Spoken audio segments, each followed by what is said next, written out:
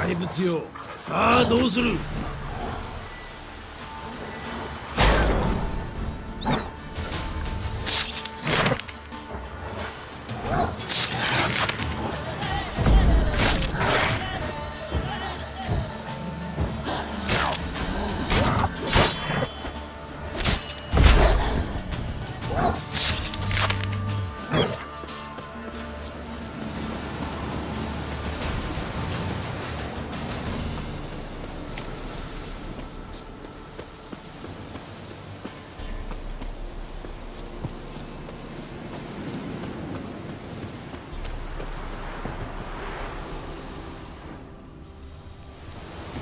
釣り小屋？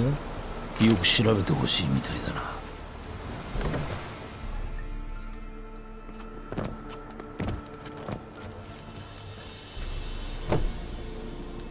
誰？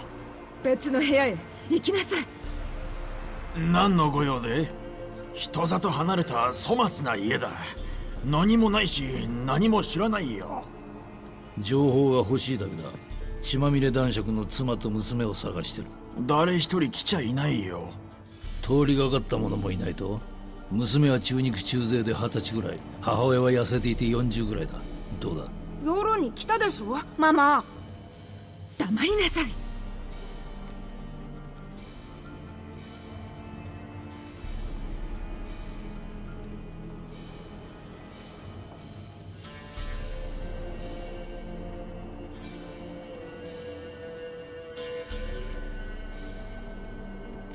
その女性を助けたい。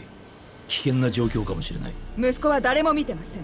子供だから夢を見たんでしょう。ではその夢について聞きたい。坊や誰を見た？誰がここに来た？パパが女の人を夜に連れてきて手当てをしたんだ。怖い怪物の話をして戻らなきゃって言ってた。どこかはわからない。ママとパパが元気づけて服をあげた。ボロボロだったんだ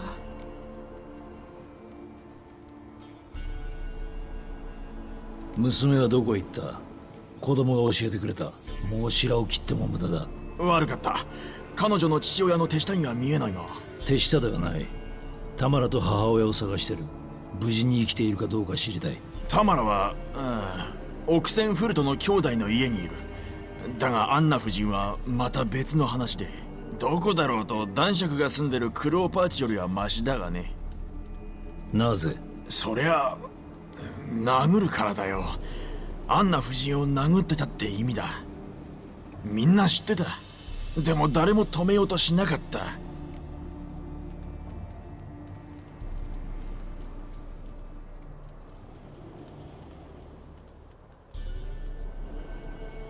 タマラの母親はどうした？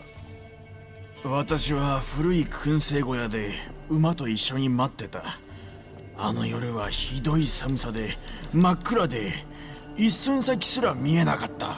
月が高く昇っても二人は現れない。悪魔にでもさらわれたかと心配し始めた頃にやっと現れた。そして一緒に川へ行った。いきなりどこからともなく突風が吹いて頭が飛ばされるかと思った。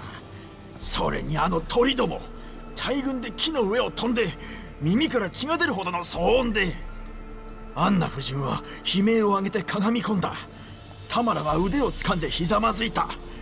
その時アンナ夫人の手に火の印を見たんだ。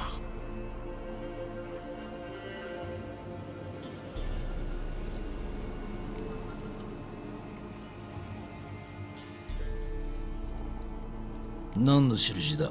あれはうん鉄で焼き付けられたような手のひらの内側だ。牛の焼き印みたいにか？そうだ。だがかさぶたのできた黒い傷じゃない。熱く光っていた。まるで火が燃えているみたいに。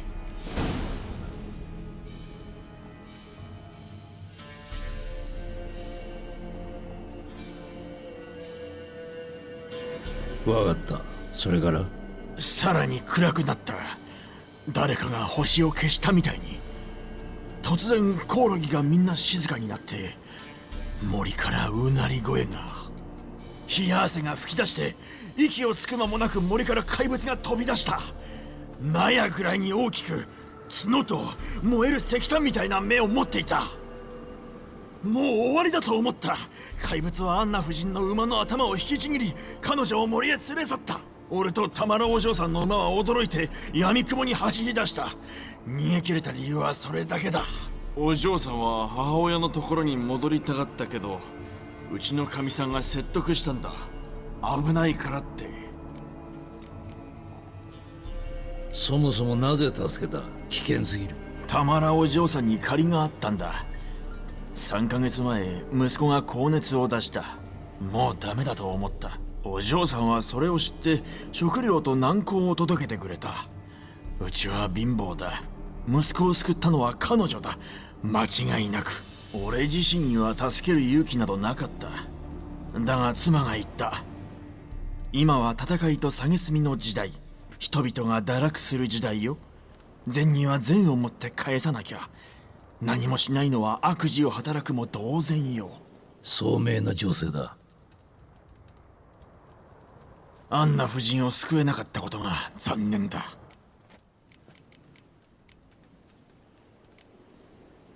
協力に感謝する。あのお姉さんはきっと大丈夫だよね。そうなるよう手を尽くすよ